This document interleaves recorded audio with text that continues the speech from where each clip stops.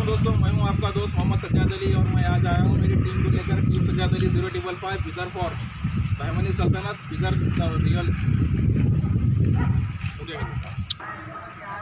तो दोस्तों, ये है बिदर फोर्ट और इसकी तामीर हुई थी सन 1426 ईस्वी में। हज़रत सुल्तान अहमद शाह वली बहमनी सरकार जब बिदर को आए थे वरंगल को फ़तेह करके तो उन्होंने गुलबर्गा जाने से मना किया और यहाँ पर बहमनी सल्तनत को आबाद किया और इस किले की तामीर की। तो ये इमारत किला 600 साल पुराना है और आप यहाँ पर देख सकते हैं, ये किले का पहला दरवाज़ा है। तो दोस्तों, आप ये दरवाज़ा देख रहे हैं किले का पहली कमान का दरवाज़ा है और दरवाजे को पूरी तरह से लोहे से और ऊपर आप देख सकते हैं, तेज़ किले यानी कि कोई हाथी से टक्कर मार के दरवाजे को ना तोड़। इस डिज़ाइन से इस दरवाज़ों को बनाया गया था और इसके इतने खतरनाक मोटे लेवल से बने हुए हैं कि कोई देव का गोला भी उड़ा नहीं सकता। और डिज़ाइन की तारीफ़ गवाह है कि आज तक इस किले को बाहर से किसी ने फतेह नहीं किया। और इस किले को फतेह करने वाले थे औरंगज़ेब, जो मुगलिया सल्तनत के शासक थे। अब आप किलों को देख सकते हैं तेज।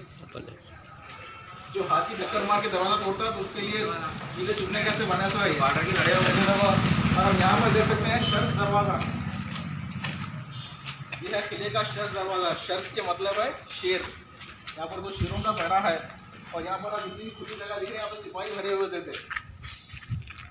ये थी यहाँ की एहतियाती तदाबीर यानी कि सेफ़ डिफेंस ये बिदर फोर्ट का सेफ़ डिफेंस था यानी कि यहाँ पर आर्मी रहती थी यहाँ पर सोल्जर्स रहते थे जो भी यहाँ के सिपाही वगैरह है। और आपको यहाँ पर दरवाजे की कड़ी बताता हूँ कितनी ये है बिदर किले की कड़ी, मुझे ये कड़ी उठ नहीं सक रही है। कि आज भी 600 साल पुरानी कड़ी है जो आज भी मौजूद है और अच्छी खासी हालत में है। और बीच में थी असली सागवान की लकड़ी, जो कभी सालों साल ख़राब नहीं होती थी। और यहाँ पर जो थे मोटे मोटे लोहे के ब्लेड, जो आज भी मौजूद है 600 साल पुराने हैं। तो आप यहाँ पर देख सकते हैं, एक खंदक, दो खंदक और उस दीवार के पास तीन खंदक। इन खंदकों में पानी और मगरमच्छ होते थे। कि कोई तैर कर किले में दाखिल ना हो सके। ये है किले की सेफ़ डिफेंस यानी कि हिफाजती इकदाम और ये है किले की तीसरी कमान। बिदर की सबसे फ़ेमस कमान यही है, तीसरी कमान। तो दोस्तों, आप जो देख रहे हैं यहाँ पर बिदर की तीसरी कमान है। और डेंजरस खिलाड़ी फाइव मूवी की शूटिंग इसी जगह पर हुई थी, तमन्ना भाटिया की शूटिंग जब हम लोग देखने थे, पुलिस वाले देखने का से ये कर रहे थे वो किसी भी तरीके से हम लोग देख लेते। और उस वक्त मैं देख सका था यहाँ पर ठहर कर इस कट्टे पर। जो डेंजरस खिलाड़ी फाइव में इकड़ी पोडेल को तेलुगु सॉन्ग है, उसकी शूटिंग यहीं पर हुई थी। आप देख रहे हैं, आप जो भिरा देख रहे हैं, ये है सिपाहियों को ठहरने का और पहरा देने का यहाँ पर। और यहाँ पर बड़े बड़े आप खंदक देख सकते हैं। आज भी पानी है, काफ़ी ज़्यादा सांप वगैरह अजगर होते हैं यहाँ पर।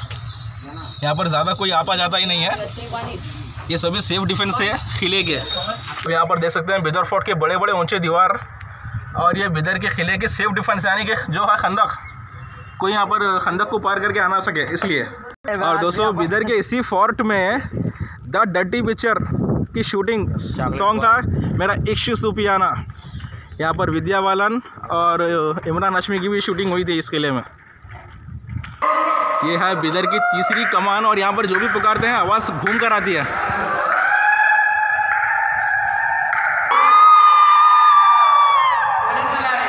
चलो। तो दोस्तों मैं जो आवाज़ निकालता हूँ। तरह से कमान में घूमती है भी देख लीजिए आप।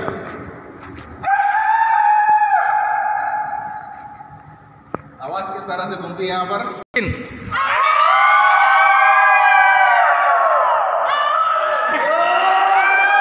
तो यहाँ पर हमारे देश का तिरंगा यहाँ पर लटका, लहराया जा रहा है यहाँ पर बिदर फोर्ट में। और हमारी बचपन की याद रहती थी, यहाँ पर बहुत बड़ा बरगद का पेड़ था, उसको कतर दिए झाड़ को गिरा डाले ये। बहुत पुराना बरगद का पेड़ था यहाँ पर। तो दोस्तों, ये है वो बरगद का पेड़ जो कतर के नीचे गिरा दिए। बोले बहुत बड़ा यानी कि पाँच मंजिल हाइट झाड़ था वो। तो दोस्तों, ये है तोप के गोले। काले पत्थर को बारूद लगाकर इसको तोप को भेजा जाता था। ये गोले उतने भारी और ताकतवर, शक्तिशाली होते थे कि दीवारों को भी तोड़कर आगे चले जाते थे। यानी कि किले के बड़े बड़े दीवारों को तो तोड़ सकते थे, उतनी क्षमता रहती थी तोपों में। अभी हम एंट्री करेंगे अंदर, बहमनी मस्जिद के पास। तो दोस्तों, हम लोग आ गए यहाँ पर बहमनी मस्जिद के पास।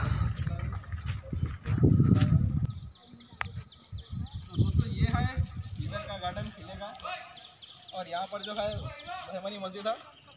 और यहाँ पर पूरा गार्डन है, यानी कि रानी महल सामने जो दिख रहा है उस तरफ़। रानी महल है और जो ऊँची दीवार दिख रही है। इधर के कौन से भी एरिया से देखो, वो ऊँची दीवार दिखेगी आपको, जो ऊपर के कमान दिखने को और यहाँ पर है बहमनी मस्जिद, जिसको हमारे इधर के आम भाषा में कहते हैं कि सोलह खम्बा मस्जिद। दोस्तों, ये जो है हज़ार कोटरी यानी कि इसके अंदर एक के बाद एक कोटरियाँ हैं। उसको कहते हैं हज़ार कोटरी और ये रहा रानी महल और ये रही मस्जिद बहमनी। हाँ तो दोस्तों, ये है बहमनी मस्जिद। जिसको बिदर में कहता है कि सोलह खम्बा मस्जिद कहा भी जाता है यहाँ पर, बिदर की आम भाषा में। और इस मस्जिद की तामीर की गई थी 600 साल पहले हज़रत सुल्तान अहमद शाह वली बहमनी सरकार ने बनाई थी और जिन्होंने किले को तामीर किया और किले को बनाया, जो असल में आज भी बिदर के सल्तनत के बादशाह है, उनके हाथ पर बनी हुई मस्जिद है। आइए आगे हम देखते हैं मस्जिद के करीब से। तो दोस्तों, ये जो मस्जिद है, बिदर की सल्तनत में, बिदर की सरजमीन पर सबसे पहली बनी वाली मस्जिद ये है। बहमनी सल्तनत की तामीर करता मस्जिद, बहमनी मस्जिद है ये। और यहाँ पर है, जहाँ पर मौसम साहब नमाज़ पढ़ाती हैं, वो जगह है यहाँ पर। और इसको सोलह खम्बा मस्जिद भी कहा जाता है, क्योंकि यहाँ पर इस तरह के खम्बे हैं, तामीर करता है यहाँ पर। आप अंदर से नज़ारा देख सकते हैं मस्जिद का। बे इंतहा खूबसूरत मस्जिद है ये। जिसको बिदर की आम भाषा में कहा जाता है, सोलह खम्बा मस्जिद इसके ऊपर का जो भी देख सकते हैं आप।